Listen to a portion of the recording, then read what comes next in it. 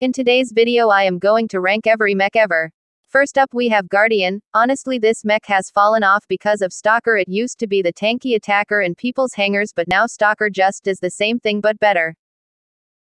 Now time for our toxic boy Redox I don't need to explain you why this mech is bad comment if you want a detailed video.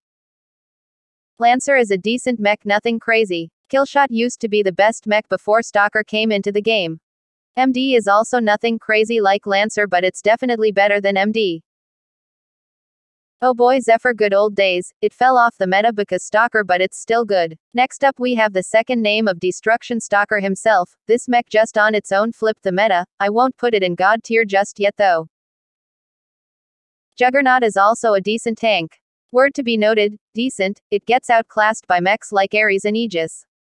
Surge recently got a buff and it made it best legendary mech or at least, one of the best legendary mechs. Ares is also a pretty solid mech in your hangar and is better than most tanks.